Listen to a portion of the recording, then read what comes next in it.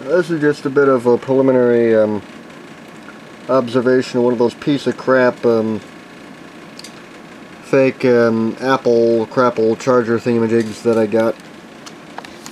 And this is just some of the noise on the output. This is, um, run it again. It's pretty crappy, but uh, just run that. Um,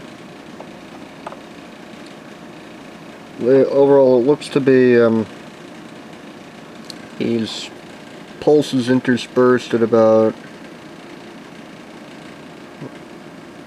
roughly two millisecond intervals of let's see kind of hard to do this.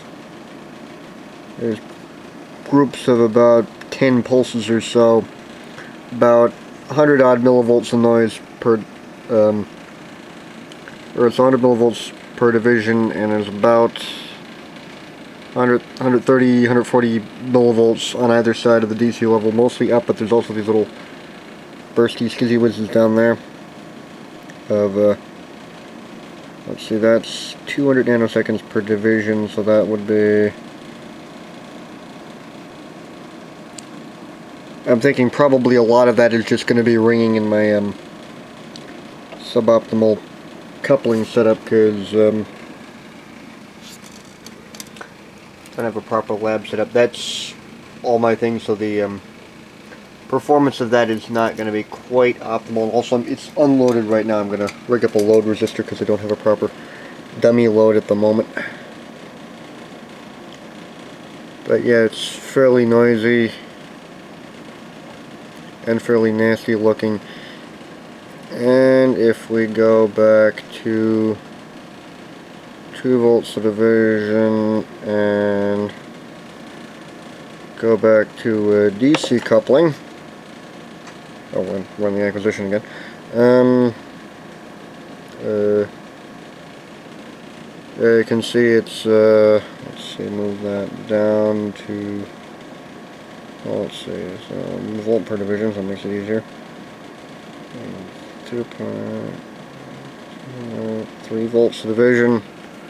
I can see it's riding continuously at about roughly the 5.2 volt level, so regulation's obviously not optimal, and you can see all that crap and uh, uh, little bursty things, and if I stop it, See, they're interspersed again at uh, 100 microsecond.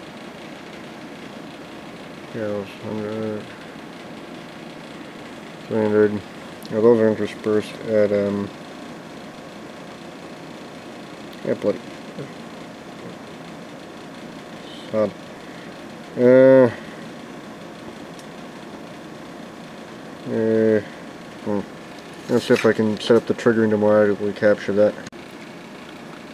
Okay, this is a bit of a better trigger on one of the bursts of crap, which is obviously the um, switching supply operating. And um, if you zoom out, uh,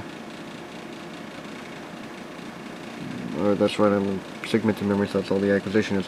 But there are these bursts of activity of about 3, 4, 5, 6, 7, 8, 9, 10, 11, 12, 13, 14 pulses of about in the neighborhood of 10 to 15 different pulses spaced um, every couple milliseconds. So it appears that this oscillator oscillates until it hits some threshold. Then there's just a steady decline and um, then the oscillator starts up again when it hits some other threshold.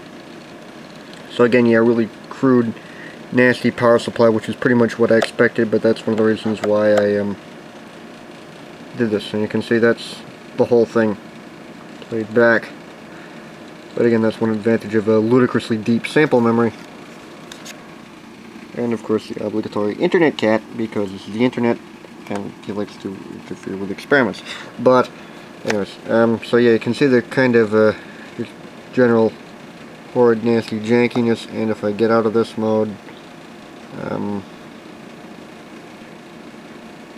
I can see there's these bursts of activity that are 500 microseconds, so that's uh, one, two, about every two to two and a half microseconds there are these bursts of activity, which again zooming back in on an absolute nightmare to trigger on.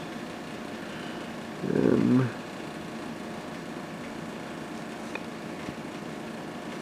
and uh,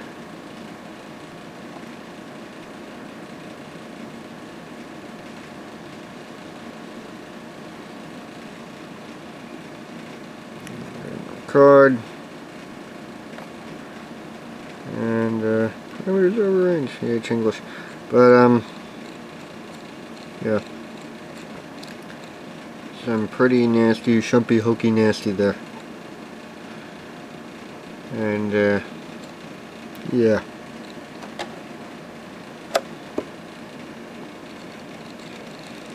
Yeah that's just pretty bloody janky and that's 10 microseconds so that's looks to be in the neighborhood of about 10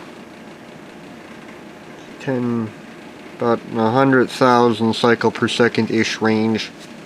These bursts although it's obviously not very consistent so again the oscillator that it uses is fairly crap and um, it's pretty nasty. And I am now going to see about reading up a dummy load and seeing how the performance changes and this is the performance of the power supply into a roughly um, uh, 350-ish milliampere load which is normal for something you'd see charging off of USB and it's generating a load of about 160 kilocycle noise. It's about um, about a fifth of a volt of noise on that rail which is not good and you can see it's all janky. The frequency is rather discontinuous as you can see with the intensity grading. But uh, yeah, so it's roughly this kind of a really jank sawtooth-ish thing. But um, yeah, that's just blob, which is what you'd see with a cheap scope. And uh, yeah, I can get an idea as far as good you know, microsecond of variation, so it looks to be varying between about it looks to be varying, but it's about in the 160 kilocycle range, but you see just over three cycles, there's about milli, there's about a, a microsecond of noise there. Zoom about, zoom out a bit, looks really jank nasty, but yeah. And of course you can also see that there's loads of just stop it.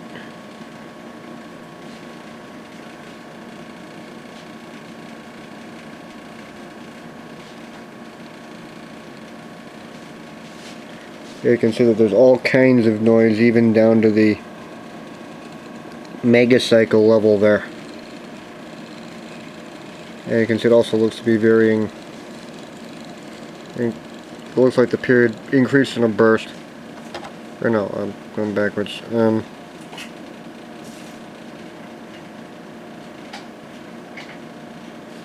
yeah, it's just pretty pathetic. You can see it looks like it increases, or the frequency decreases and increases in a burst again. Frequency decreases a bit, burst, decrease burst, decrease burst, decrease burst, decrease burst, decrease burst. But yeah, you can see it's um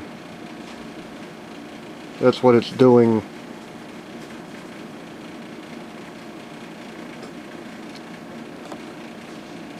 And uh, uh yeah, it's pretty you can see when looked at really fast it looks like bleh. But, uh,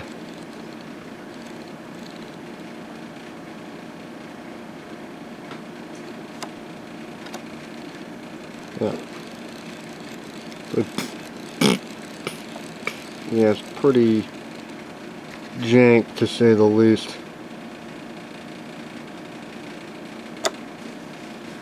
And of course get out of that mode and it just looks like blah. And uh, let's uh, This is the turn-on behavior of the um, power supply.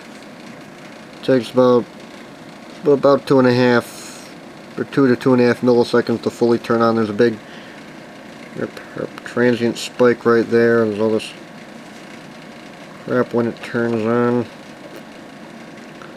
All these little skizzies and um, there's a buttload of noise and then kind it levels off with the usual bursts of crap at this be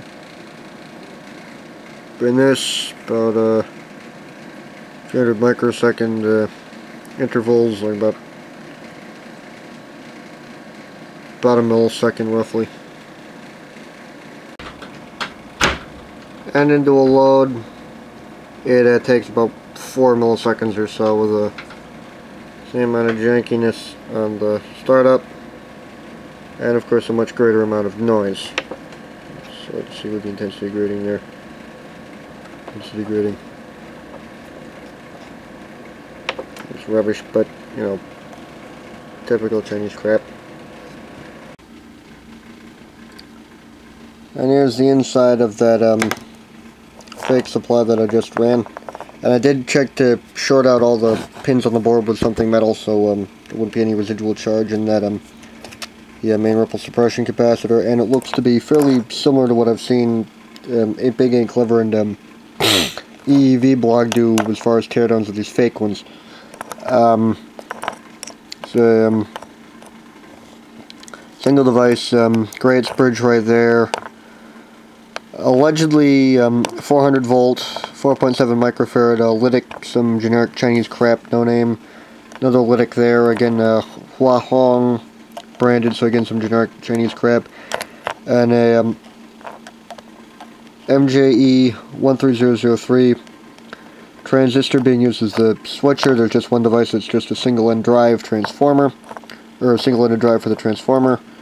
Another transistor, which I'm guessing forms part of the oscillator that then drives the um, and power device and some other caps down there, which are probably just an RC oscillator or something. On this side, of course the transformer there, there's a um, blue um, 2 kilovolt 1 nanofarad cap, which is allegedly looks like a Y cap, whether or not it actually is a Y cap, don't know. By the way, if you don't, for those of you who don't know, a Y cap is a capacitor that's safety rated so that it can be connected between mains live, hot, whatever, active, whatever your local terminology is. And any exposed metal that all the delicate meat bags touching the thing could actually touch. A, Shang X or Chong X or Ching X. Generic crap lytic on the output. There's an optocoupler and a um, Zener diode that forms the feedback loop, so that just shuts off the oscillator whenever the potential on the output gets reaches the um, threshold. So that's obviously explains the um, activity I was seeing as a um, was probably a fast rectifier on the output of the transformer and a um, ripple suppression capacitor. Both of them are allegedly negative 40 to 221 degree Fahrenheit. Don't trust that in the slightest um, because of all the ratings of the components. And then, of course, there's a fusible resistor uh, in series with the input. But, um, and that, um, manked insulation on that one wire, which was like that when I opened the thing up, that was not my doing. So, or at least, I don't think it was my doing. So, uh, could have been, but I don't know. But, um, so yeah, in theory, this thing could handle 240 volts. I'm going to test that once it warms up enough so that I can uh, test that outside because I don't want this thing sticking at my house when it probably will blow up. And of course, as a safety thing, when I was doing all those experiments, I was running it through an isolation transformer. And because, again, didn't want the thing making my scope live because entirely, these things, it, it would be entirely possible for this thing to somehow fail and connect, um, especially that cap, which I wouldn't trust with being an actual mains rated Y cap in the first place. Didn't want it blowing up my scope or electrocuting me because, you know, Chinese crap. And of course the uh, PCB, it actually looks to be at least a, some of this hybrid, it looks to be like four, 30 or 40 mil thickness. So that's really cheap. But it looks to be hybrid um, fiberglass and um, and um, um, um, paper laminate. So it isn't quite as bad as some of these which are just a pure paper PCB, but you know, still rubbish. And of course on the other underside of the board, absolutely horrible clearance and creepage, none whatsoever. Don't trust these things, they're crap.